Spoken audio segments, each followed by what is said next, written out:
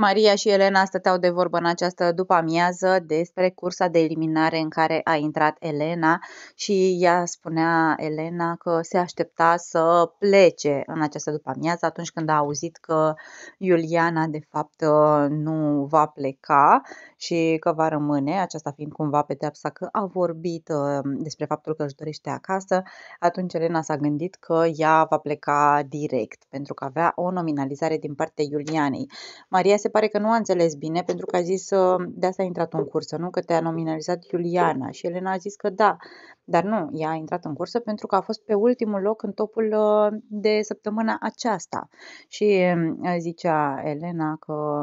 nu știe ce o să fie, ea își dorește să uh, rămână și Maria i-a zis că să stea liniștită, poate vor rămâne amândouă, amândouă și o să fie bine pentru că au mai fost cazuri. Iar Elena a zis că nu se poate baza pe asta.